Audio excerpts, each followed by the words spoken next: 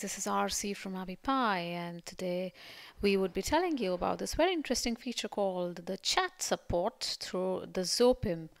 Now uh, Zopim is something that even we at AppyPie are using for customer support and the small box that you see here is all a Zopim based uh, so it's a chat support feature and if I have a question that I would want to ask AppyPie I would click here and uh, it would open up this box here with a customer support executive uh, handling it and see it says open here.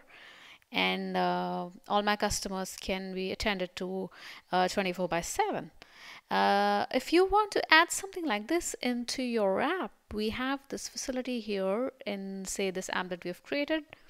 You go to the system pages here and click on notification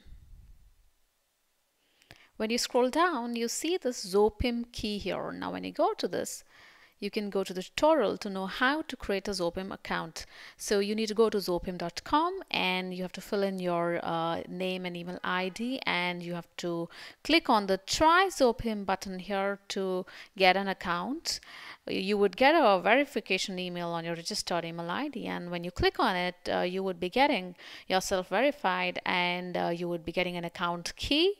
Now this account key is a 32 character string that comes directly after you log in and it looks something like this here uh, if you see the screen. And when you select this you can copy paste from uh, that page and come back to AppyPie in the app segment go to the system pages scroll down and in the Zopim key simply copy paste the key given.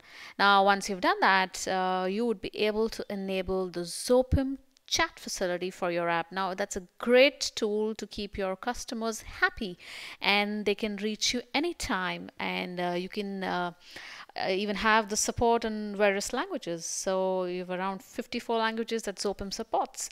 So uh, great going to you guys. Hope your customers are all happy with this new feature and uh, keep watching the space for more and uh, thank you so much for watching.